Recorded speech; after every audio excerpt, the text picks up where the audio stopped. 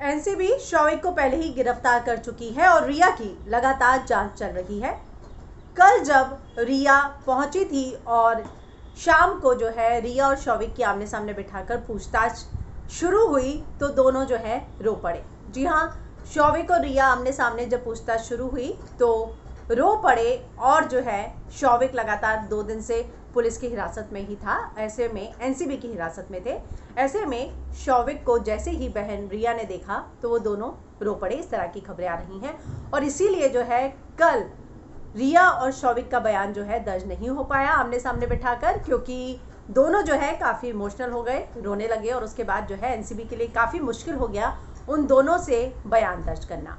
हालाँकि अभी जो है, शौविक और रिया की आमने सामने बिठाकर पूछताछ शुरू हुई है। लेटर इन द इवनिंग जो है, दीपेश सावंत और सैम्यूल इन सभी के साथ बिठाकर भी पूछताछ शुरू की जाएगी।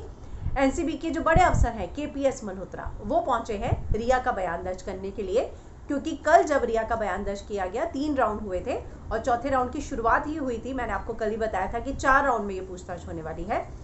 तो चौथे राउंड की शुरुआत ही हुई थी और शौविक के साथ रिया को बिठाया तो दोनों रोने लगे, जिसकी वजह से वो आगे बढ़ ही नहीं पाई जाँच। और कल रिया लेट पहुँची थी, इसीलिए जाँच पूरी हो भी नहीं पाई। और अब जो है, आज रिया और शौविक का आमने सामने बिठाकर बयान दर्ज होना शुरू हुआ है।